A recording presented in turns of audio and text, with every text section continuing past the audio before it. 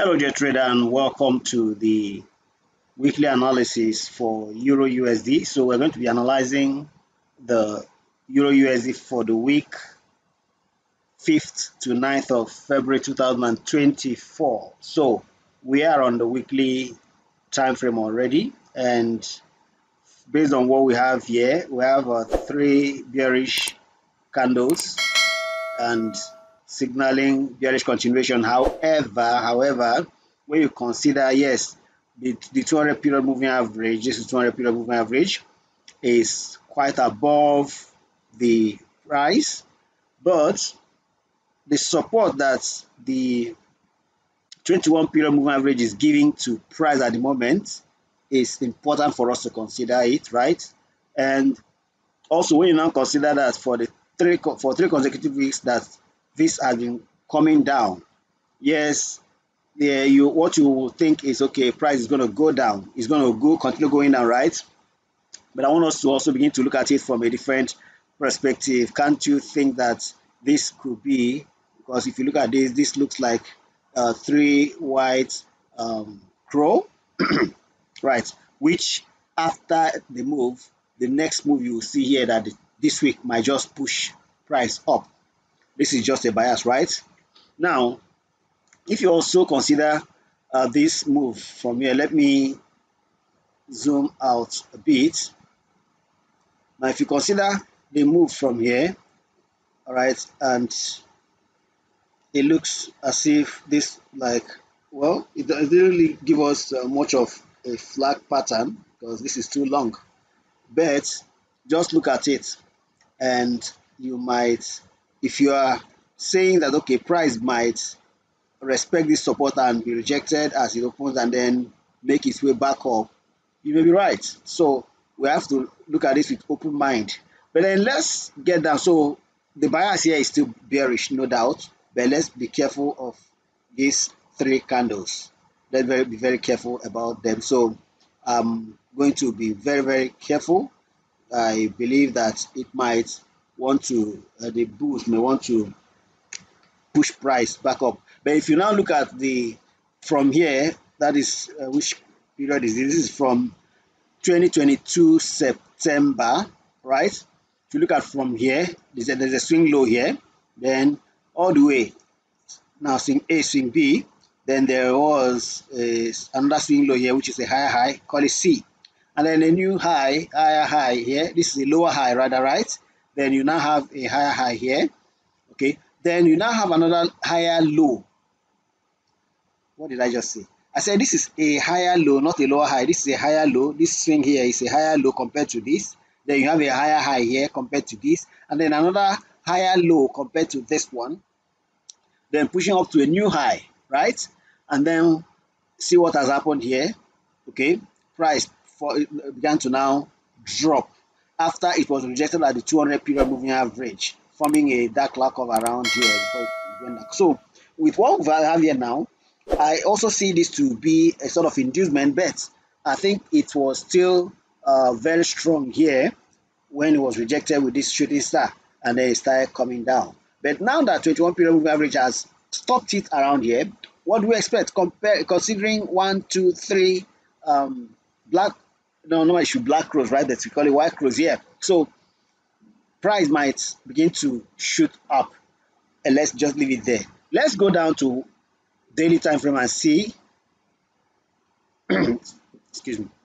Okay, so on the daily time frame, you have have a swing low here. You have another swing low here, but then the swing low here is higher than the low here. So you have a higher low and all of that going up and up and up until now here. So yeah, you may also be forming another swing low, right? But then this could also be an inducement if you con consider this place. But price has on daily time frame broken the 200 period moving average here, right? And of course, all the moving averages are above. That's on daily time frame, and it formed a bearish engulfing pattern. Now, with this formation, what do we expect? Price may open on Monday and try to pull up and it might give us a reversal pattern you never can tell. So we are we have to watch that also. Okay, so no conclusion there. So let's go to four hours and see whether we can find a pattern that will give us a signal. Okay, so on four hours we have a bearish bias over here, right?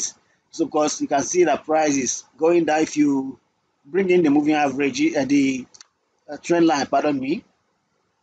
Okay, you can see that what we have here is a swing low. Rather, you have a, a downtrend line rather. And of course, all the moving average, the 200 period moving average, the 50 period moving average, and of course the 21 day moving average, the 21 period moving average, right? They are all above price. But still on four hours, we have a an inverted hammer here. Okay, so where will the market open? You need to also consider the let's look at the fundamental indicators. That's let's look at the economic indicators. Just a moment, let me open FX Street. Okay, so this is FX Street. Um, let's see if we can open the, the calendar. All right, let's open the calendar now. On Tuesday, on Monday rather, uh, we'll be expecting some medium impact events, the trade balance from uh, Germany, um, HCOB services PMI, all of these may have impact the euro positively or negatively. So watch out for this. This might just be what the euro may need. You know, I can tell. But let's look at Tuesday. On Tuesday, uh, we still have some even high impact. Look at the retail sales here on Tuesday. Retail sales here on Tuesday. This also this is also something to watch out for. Yeah, if you want to, let me open to stretch it all the way to Friday. Okay, so let's stretch it to Friday 9th. Great. So now on Wednesday, on Wednesday, hold it here. All right. On Wednesday, we are going to be um, okay, not much, nothing from the okay, what just two events from the Eurozone around 7 a.m. on Wednesday, and that's industrial production. Um, okay, that's around 7 a.m. GMT. Then you have on Thursday, you have economic bulletin, and then uh, the then of course um, Elderson will be speaking, uh, will, will, be making a speech rather. Then um, there's also a speech by Lane. Okay, and then if you go to Friday, Friday you'll be having the German harmonized um, index of consumer prices. All right, so these events will shape the euro. Now, do not forget also, we are talking about Euro USD. Do not forget that there are events that will be coming out that will impact the US dollar as well. Let me close this. Okay, the US dollar, there will be Fed, uh, Federal Monetary Policy report at 16 hours GMT on Friday. Now, let's go up.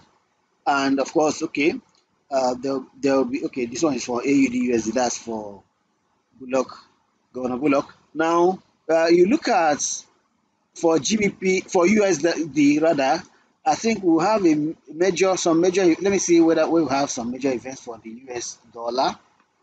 Let's scroll up. Okay.